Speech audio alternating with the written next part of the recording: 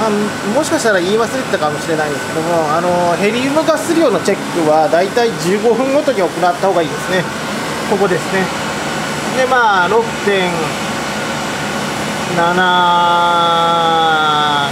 プラスマイナス0.25ぐらい。あ6.75プラスマイナス0.25ぐらい。を維持するようにですね。結構面倒くさいですね。これを本当に少しずつ少しずつ動かしながらいくといいです。まあ安定化するとこんな感じになります。この赤印はですねあの閉めるときの基準なんですけど開けるときはあの状況によって変わりますんであの印はつけてないです。もう本当にあの環境で変わりますね。まあ安定化するとこんな感じになると思います。部屋の温度にも依存すると思いますのでなかなか難しいですね。今結構ちょっと暑い。部屋の温度は結構暑い状態。うん。まあこんな感じですね。15分ごとに見るのがいいですね。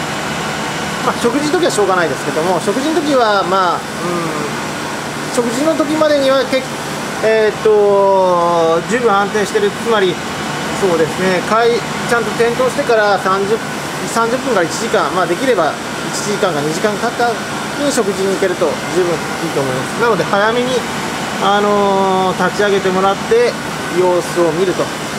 で、うん、食事の時はまあ仕方ないんですけどそれ以外はもうできるだけ15分ごとにえーと、圧力見て、えー、6を下回らない6パスカル下回らないようにした方がいいですね。6.25がいいですね。6.25を下回らないように常にあのチェックしていただけるといいです。ここが6.25下回らないようにもう常に6.25パスカル下が回らないようにこれをちゃんと開ける。ということですね。なかなか難しいとは思いますけどそれを心がけておいた方がいいと思います、うん、そんな感じですね。なかなかヘリウムは難しいです。一晩掘っておきたいですけどそうもいかない感じなので。うん。この圧力がもっと安定してくれたら楽なんですけどね。そんな感じになります。まああとえー、っとなかなかこれ見るとノイズが結構あるんですけど多分外部からの装置の外部の装置からのノイズも結構拾っても感じがします。例えばこの部屋の外で、えーと、アーク放電が行われたことがありましてその時には MCP がオーバーフローあ起こしてまして、えー、えー、とあまり良くない結果になってます。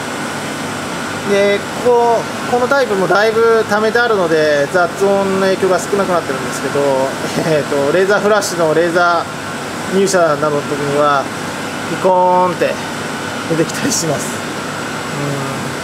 うん。まあそれは仕方ないですね。できるだけ雑音を減らした状態で測定できるといいです。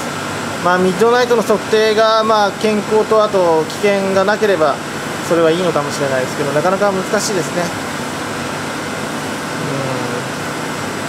まあ、まだ、えーと、立ち上げて、まあ、数ヶ月というか、数週間も経ってない状態ですので、こんな状況になってますけれども、まあ、皆さん、もっと良い状況を探していただいて、え